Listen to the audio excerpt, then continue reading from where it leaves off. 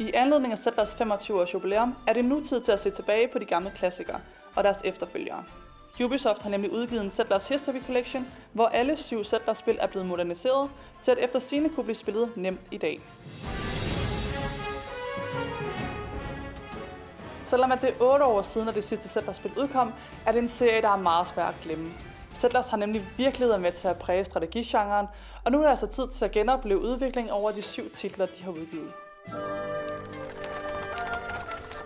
Hvis man aldrig har prøvet Settlers før, kan det kort beskrives som et strategispil, der handler om at bygge en by op med hjælp fra kolonister. Her skal de forskellige slags ressourcer balanceres nøje til at stabilisere væksten af byen, imens man forsvarer og udvider sit territorium mod forskellige slags fjender.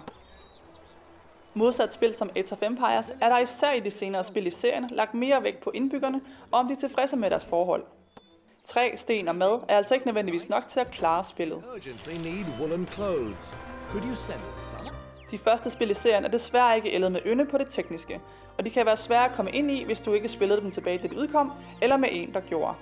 De er ikke særlig intuitive, hvis man sammenligner med moderne spil i dag, og det er nok mest på enten en nostalgisk grundlag eller interesse inden for spillets oprindelse, at de faktisk er interessante i dag. Kigger man på de lidt senere titlerne, fungerer de faktisk stadig overraskende godt. Grafikken er selvfølgelig en smule forældet, men ellers er det let at hoppe ind i dem og forstå grundprincipperne af de forskellige teknikker ret hurtigt. Og så er det faktisk ret vanedannende og sværere at slippe igen.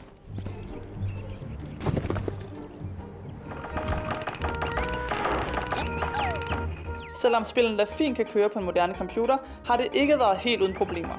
Flere gange havde jeg problemer ved at få startet især de første af spillene op, ved at de enten lukkede ned eller frøs.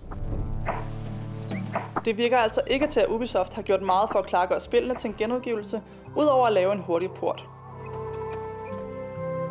Der er heldigvis lagt op til, at man ikke behøver at købe den fulde pakke med alle Settler-spillene. Det er nemlig muligt at kunne købe dem alle individuelt, og så endda i forskellige prisklasser, med de tidligste titler billigst og de senere dyrest.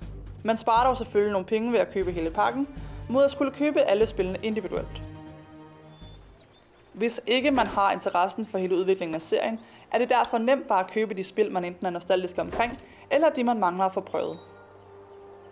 Trods at jeg desværre er en smule for ung til at vokse op med de første af titlerne, har jeg virkelig nyt den rejse, som Settlers History Collection har taget mig på.